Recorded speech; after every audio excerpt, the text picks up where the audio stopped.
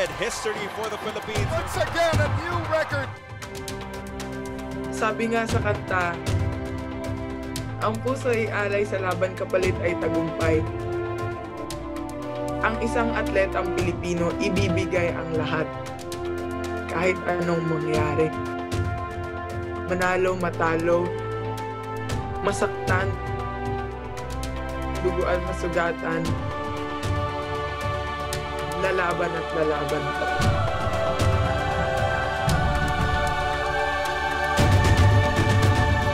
All four basketball events swept by the Filipinos.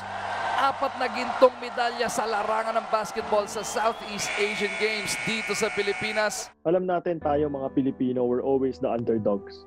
Uh, any competition, lagi tayo, kung mapapansin natin, lagi tayong underdogs. Yung pagiging matapang natin, we always, ano eh, parang we're always on the go. Laban tayo. We know that we're smaller than them.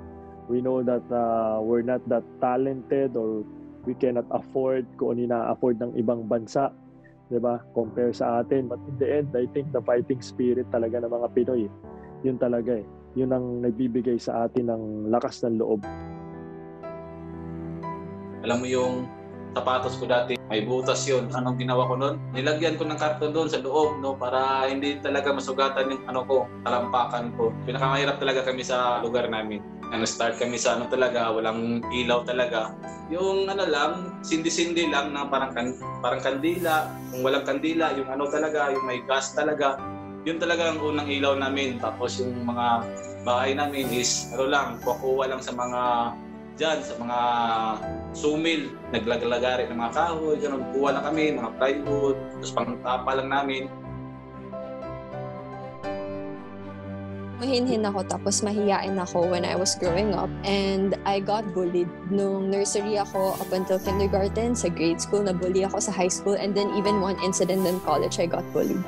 Tapos hindi lang siya sa ano sa academic institutions. Um, I was even bullied in karate, in swimming, tapos in wushu. I didn't really try and fight back. I focused on myself. I focused on my career as an athlete and I focused on my um, education. a lot of the Filipinos hoping for another golden performance here from Wong. That was back in 2014. Um, I was um, doing crowdfunding to get to IBJJF World Championship. So at that time, wala pa actually national team. So talagang sariling sikap lang. Kung gusto mo mag, mag-excel sa sport na to globally, sariling sikap talaga.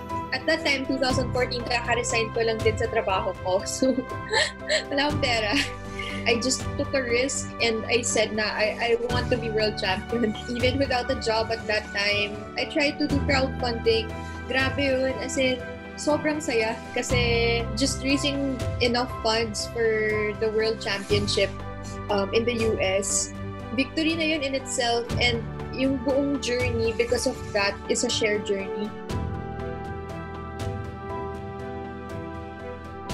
when I competed at the 2013 Olympics and I originally got a gold medal and then we had to re-swim it and I got a bronze medal. That was such a parang pivotal moment in my growth, not just in my career but also in my growth and understanding who I am as an athlete. I just sat there and I just had this parang peace in my heart that parang there's no way I'm not gonna swim it, you know? Parang uh, I don't know. Like I, I just knew when they told me that they, they were gonna do a reswim the next day. I knew in my heart that I'd do it. First place, Ernest John Obiena of the Philippines. And another gold for the Philippines, this time in the pole vault. SEA Games was always a bit of an elusive kind of thing for me. You know, I, before I even won a SEA Games, already won a world level competition. I've won an Asian level competition. So I've never really won the SEA Games. You know, I've been always a little bit unlucky. I don't know why. So 2015, I was supposed to win it. Then I only got second. 17, I was supposed to win it. I got injured. So 2019 Southeast Asian Games was like, you know, the vindication, I would say, for me, at least in the Southeast Asian level, to prove that you know I'm capable of winning. You know, come on, like it's, a, it's in the Philippines. You know, it's a different hit in the gut if you lose in your home soil. Amazing performance for the Filipino. He's actually Olympic bound already.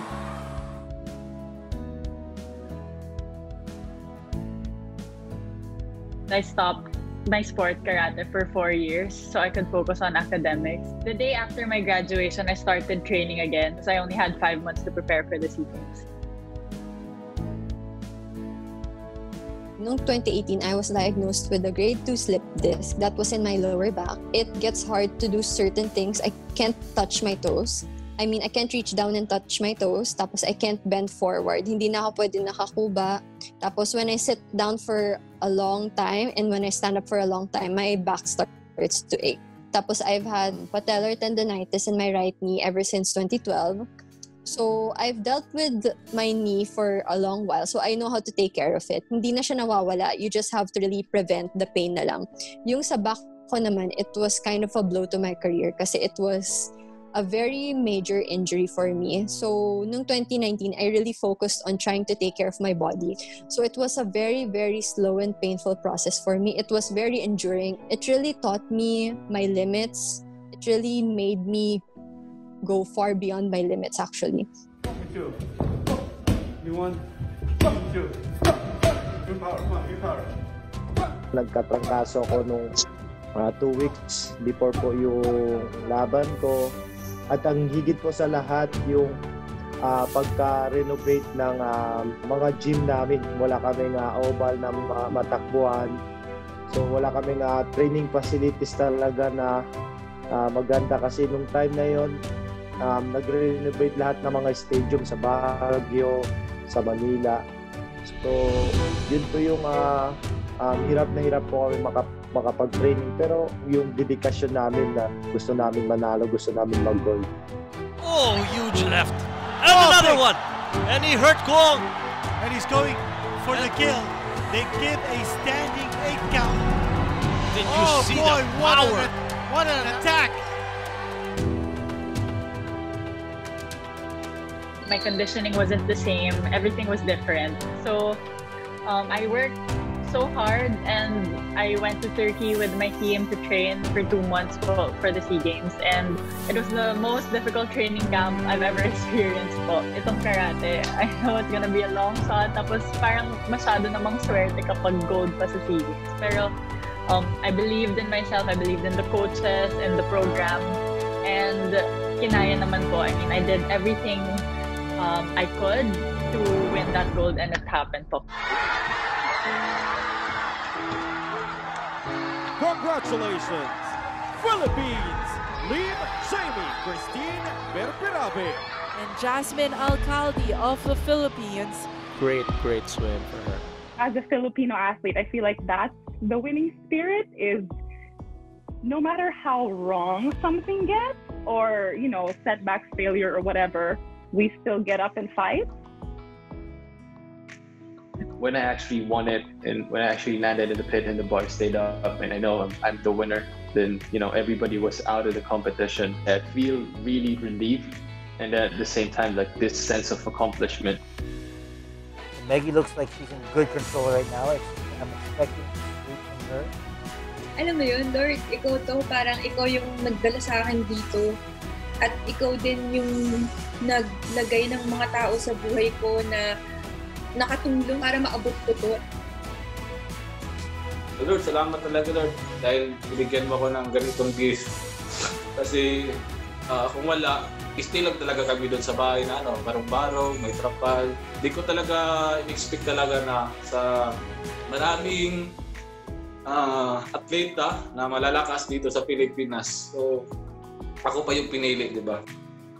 Walang imposible talaga mga amigo, no? Yung kahirapan, ay hindi lang para makamit mo ang iyong mga pangarap. Basta sipag at syaga ka lang, madiskarte ka lang sa buhay at yun nga, uh, tiwala lang, tiwala ka lang doon. No? Isa yan, isa yan sa mga kalakasan natin. Their first ever reign as champions of Women's Southeast Asian Games basketball.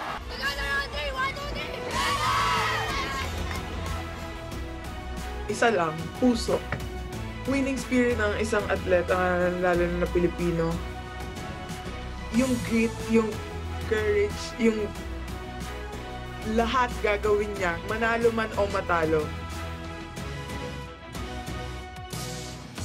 If you win a gold medal in front of your very own countrymen in your home country, that has gotta be a lot sweeter. That's a special feeling. Oh, yes. Wow. Amazing job. We're gonna make this country proud. And now that's how you win the campaign. We